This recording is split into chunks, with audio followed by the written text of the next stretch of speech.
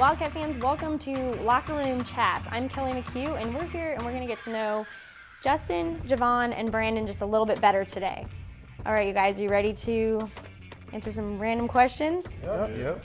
All right, so first off, Justin, what is your favorite TV show of all time? And then we'll go down the line so we can hear theirs too. Mine would be One Tree Hill. It's a most recent show, but Scandal took my heart. And mine, a lot of people may not know about, but it's the regular show. It's a cartoon show. You know? Hmm, I have not heard of that. And now, why One Tree Hill? I'm just curious. Uh, I can relate myself to the main character. He's a basketball player that goes through a lot, so I just thought I could. It's a good show for me. All right, and so when was the first time Justin dunked during a game? Justin, you go last for this one, so let's see if you guys know this. Uh, I think it was preschool. I mean, ninth grade. That's what I meant. I'm gonna go with ninth grade too. Justin? Yeah, they're right. Ninth grade. Ooh, First good I job, you guys. All right, and next, what did Brandon say was better, blocking a shot or a big dunk? I chose blocking DJ in practice.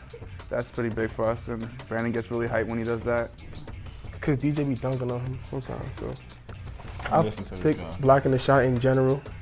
They were both wrong. I live with them, so I think they would know it would be a dunk. So that's it. What what kind of dunk?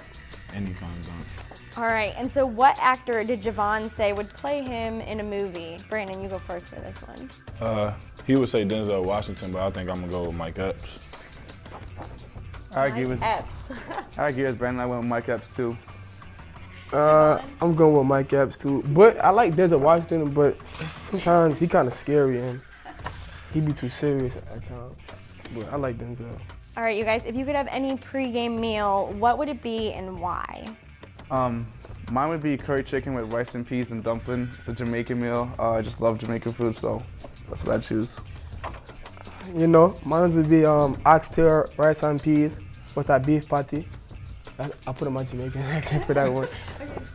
Um, you know, a beef patty is real good. I'm from Jamaica. I love my country. It, it, it doesn't know. I don't got nothing against, you know, Jamaican food, but I'm gonna go with Chipotle. Notice I said chips, please. I gave a little shout out to Wes because he think he eat more Chipotle than me. There's no chance. All right, well, thanks, you guys, and thank you for watching this edition of Locker Room Chats.